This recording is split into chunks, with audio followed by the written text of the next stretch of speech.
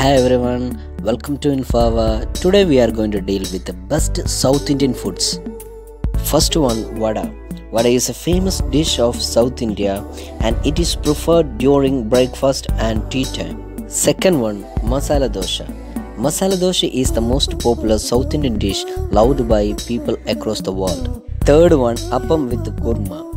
Appam is a famous dish of Kerala. It is preferred during breakfast and dinner. Coconut is the main ingredient of this dish. Fourth one, puttu.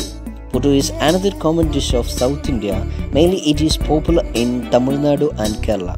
It is a breakfast dish having cylinder shape. Fifth one, pesarattu. It is one of the healthy and nutritious option for breakfast and dinner. Dish is most popularly found in Andhra Pradesh. Thank you so much for watching this video. Please like and subscribe.